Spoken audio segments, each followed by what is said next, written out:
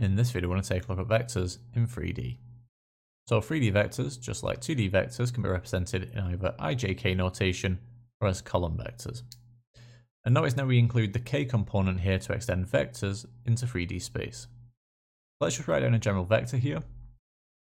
Let's say we've got pi plus qj plus rk. So we can write this here as a column vector. In this case, this would be P, Q, R. So it's going to be P, Q, R. Okay. Now, the properties that we saw for 2D vectors, such as addition and subtraction of vectors, and multiplying a 2D vector by a scalar, they also apply to vectors in 3D. Okay. I won't show each one of those individually, but just obviously be aware that you can apply those properties from 2D vectors to 3D vectors. I think that's everything we need there for our introduction to vectors in 3D. So now let's take a look at a couple of practice questions. So we start off with question one here, we've got the vector A, which is equal to i minus j plus 5k. We're also show that the magnitude of A can be expressed as 3 root 3. So for the magnitude, just remember, we need to use Pythagoras. So in this case here, using Pythagoras, I'm going to do 1 squared plus minus 1 squared And then finally, plus 5 squared. Okay. So we evaluate this here. We're going to get the square root of 1 plus 1 plus 25. 1 plus 1 plus 25, which in this case would give me the square root of 27. And we want to show that this can be um, expressed as 3 root 3. All I need to do here is simplify this root 27. We can write this as root 9 root 3 Remember, root 9 is equal to 3. So in that case, we get 3 root 3 as required there.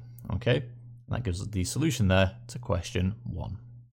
Moving on to question 2, now it says relative to a fixed origin O, the position vectors of the points A and B are given respectively as minus 2, 1, minus 3, and 3, 0, 1.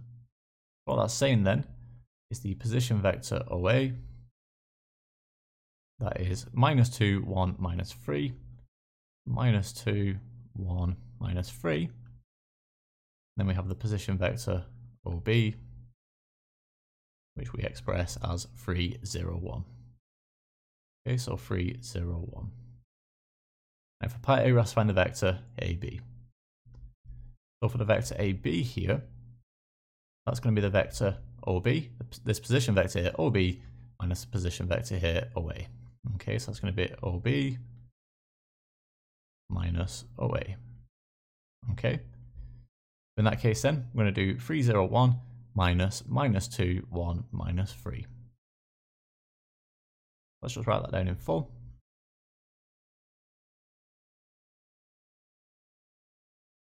If we evaluate this here, 3 minus minus 2, that's the same as 3 plus 2, so that would give us 5. 0 minus 1 would give us minus 1, and then 1 minus minus 3 is the same as 1 plus 3, so that would give us 4. In that case then, the vector AB can be expressed as 5 minus 1, over there. Okay, obviously I could give that in IJK notation as well, but that would be absolutely fine there for part A. So for part B then, we have to determine the magnitude here of the vector AB. So for the magnitude here of the vector AB, Remember, we just use Pythagoras again. There's going to be the square root of 5 squared plus minus 1 squared. And then finally, plus 4 squared. Okay, so if we evaluate this here, we get the square root of 25 plus 1 plus 16.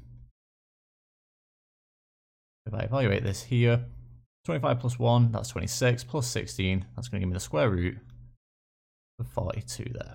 Okay, and there we have it. So that's our solution to question 2. And finally, we move on to the very last question. Here we've been given the vector A, which is equal to minus 2i plus j plus 2k. And we're asked to find here the unit vector in the direction of the vector A. So let's just recall the formula here to find the unit vector.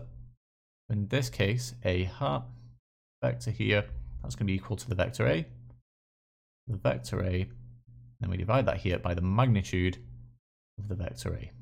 Okay, so clearly the first thing I need to find here is the magnitude of the vector A. I remember for the magnitude here, we just use Pythagoras. This is going to be equal to the square root of minus 2 squared, minus 2 squared, plus 1 squared, and then finally plus 2 squared.